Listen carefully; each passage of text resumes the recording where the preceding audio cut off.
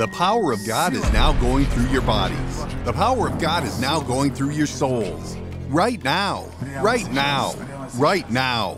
Right now. Right now. The curses have broken now because today no curse can resist. The grace of Jesus Christ is working.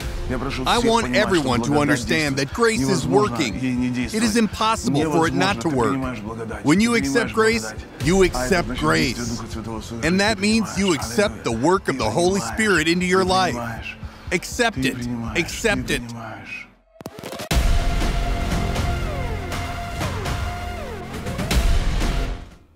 After the summit, I received a revelation about grace, and after analyzing all the situations in my life, I realized that in fact I did everything according to the law. I donated according to the law. I gave partners donations for two and a half years. Every time I was praying and asking God, Lord, why there is no answer? I do everything. But after the summit, God showed that the only thing I should rely on is the sacrifice of Jesus Christ and grace.